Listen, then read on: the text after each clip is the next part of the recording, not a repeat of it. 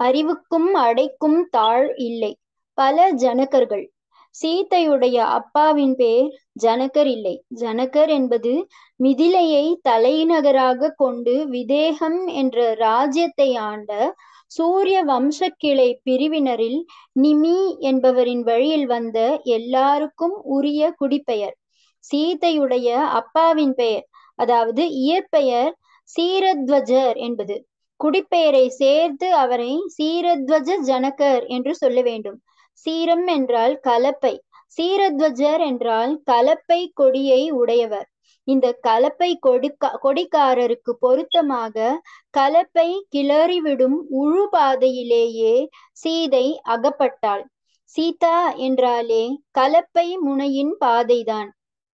மிதிலை ராஜவம்சத்தைச் சேர்ந்த அநேக ஜனகர்களில் கேசித்வஜ ஜனகர் காண்டிக்ய ஜனகர் என்று இரண்டு பேர். அந்த இரண்டு பேரும் பெரியப்பா சித்தப்பா பிள்ளைகள். தர்மத்வஜ ஜனகர் என்பவர் இவர்களுடைய பாட்டனார். அவருக்கு அமிதத்வஜர் கிருதத்வஜர் என்று இரண்டு பிள்ளைகள். கிருதத்வஜரின் பிள்ளை கே கேசித்வஜர். அமிதத்வஜரின் பிள்ளை காண்டிக்யர். தர்மத்தையே ஜீவித்த லட்சியமாக கொண்டு கொடியை தூக்கி பிடிக்கிற மாதிரி உசத்தி காட்டுகிறவன் தான் தர்மத்வஜன். ஆனால் தர்மத்வஜன் என்ற வார்த்தைக்கு ஆஷாடபூதி ஹிபோக்ரேட் என்றும் கேலியாக ஒரு அர்த்தம் உண்டு. தர்மானுஷ்டானத்தை அடக்கமாக பண்ணாமல் பகட்டாக கொடி பிடித்து காட்டுகிறவன் போலியாகத்தான் இருப்பான் என்ற அபிப்பிராயத்தில் இப்படி அர்த்தம் ஏற்பட்டது. நான் சொன்ன தர்மத்வஜ ஜனகர் இம்மாதிரி போலி இல்லை. இந்த விஷயம் இருக்கட்டும். முழு ராஜ்யத்தையும் தலை பிள்ளைக்கே பட்டம் கட்டுவதுதான் பொது வழக்கம். ஆனாலும் சில சமயங்களில் இளைய பிள்ளைகளுக்கும் ராஜ்யத்தில் சுதந்திரமான பங்கு தருவது உண்டு. ஒரு கனிஷ்ட புத்திரன் மகா சூரனாக யுத்தங்கள் பண்ணி புது ராஜ்யங்கள் பிடித்து கொடுக்கும் போது பிதாவான ராஜா ஜேஷ்ட புத்திரனுக்கு மட்டுமில்லாமல் இவனுக்கும் மூத்தவனுக்கு அடங்கிய குறுநில அரசாக இல்லாமல் சுதந்திரமானதாகவே ராஜ்யத்தில் பங்கு தருவதுண்டு. ராஜ்ய ஆசையே இல்லாமல் தம்பி ஆண்டால் அது தாம் ஆளுவதற்கு மேலே என்று நினைத்தவர் ஸ்ரீ ராமச்சந்திரமூர்த்தி முடிலே முடிவிலே அவர் கோசல தேசத்தை இரண்டாக பிரித்து குஷன் லவன் இரண்டு பேருக்கும் பட்டம் கட்டினார்.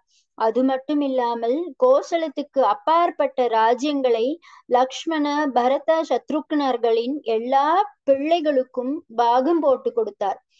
கேசித்வஜருக்கும் காண்டிக்யருக்கும் தகப்பனார்களாக இருந்த அண்ணா தம்பி ஜனகர்கள் இரண்டு பேருமே தனித்தனி ராஜ்யங்களுக்கு ராஜாக்களாக இருந்தவர்கள். அதனால் அவர்களுக்கு அப்புறம் பிள்ளைகளான கேசித்வஜர் காண்டிக்யர் இரண்டு பேரும் அந்தந்த ராஜ்யங்களுக்கு வாரிசாக ஆட்சி பெற்றார்கள். பழைய கால ராஜாக்கள் க்ஷத்ரிய தர்மப்படி வீர புருஷர்களாக யுத்தங்கள் செய்து ராஜ்யத்தை விஸ்தரித்து கொண்டு போவார்கள். தர்ம சாஸ்திரப்படி நல்ல நிர்வாகம் நடத்துவார்கள். அதோடு யாக யஜ்ஞாதிகளும் நிறைய பண்ணுவார்கள். இப்படி கர்ம மார்க்கத்தில் சிறப்பாக ஈடுபட்டிருந்தாலும் அவர்களுக்கு வேதாந்த ஞானமும் இருக்கும். புத்திரன் வயசுக்கு வந்ததும் அவனுக்கு பட்டம் கட்டிவிட்டு ராஜபோகத்தை எல்லாம் விட்டு காட்டுக்கு போய் தபஸ் பண்ணி பரமாத்மாவோடு சேர்ந்து விடுவார்கள்.